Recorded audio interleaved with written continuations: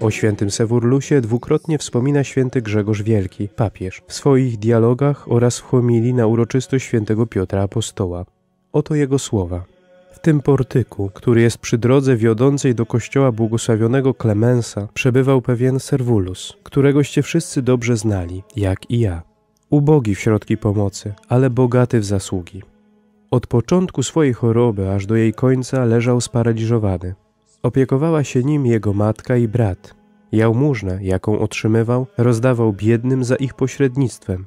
Nie umiał czytać, ale miał przy sobie Pismo Święte i prosił kapłanów, którzy go odwiedzali, aby mu je czytali. Dlatego też, chociaż jak wspominam, nie umiał czytać, tak doskonale zapamiętał jego treść, że dniem i nocą wyśpiewywał Bogu hymny pochwalne. Kiedy zaś był już bliski śmierci, o jedno tylko prosił pielgrzymów, aby z nim razem śpiewali psalmy ku czci Pana. Przy samej jednak śmierci swojej prosił, aby zamilkli w śpiewie, mówiąc to otwarcie, czy nie słyszycie hymnów, jakie śpiewają w niebie? W taki to sposób dusza jego została wzięta ze strzępów tego ciała. Przy śmierci Servuliusa był obecny osobisty sekretarz papieża i to on przekazał te szczegóły. Święty Grzegorz nie podał jednak ani daty jego śmierci, ani też miejsca, gdzie go pochowano. Martyrologium Adona umieszcza dzień jego święta na 23 grudnia. Wiemy zaś, że był powszechny zwyczaj, że w pierwotnym chrześcijaństwie obchodzono zawsze uroczyście rocznicę zgonu jako dzień narodzin świętego dla nieba.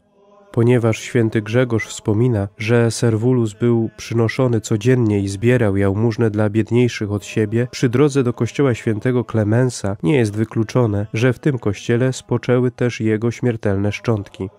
Jeszcze w roku 1575 w tymże kościele w jednej z kaplic można było oglądać freski przedstawiające żywot świętego Servuliusa.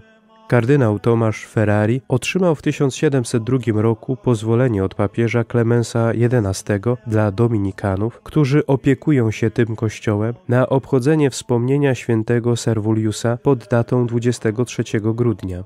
Nie życie pustelnicze, ani pokutnicze, nie praca apostolska, nawet nie męczeństwo wyniosło świętego Servuliusa do chwały ołtarzy, ale heroicznie znoszona choroba.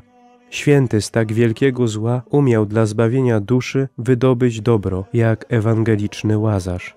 Święty Servulus może być patronem w nieuleczalnych chorobach, w tym szczególnie w paraliżu. Módlmy się.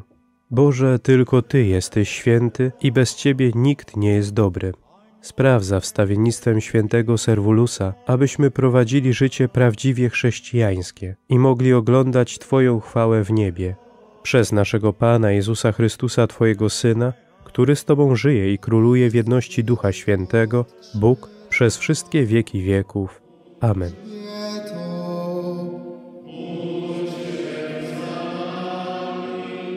Wszyscy święci, święte Boże.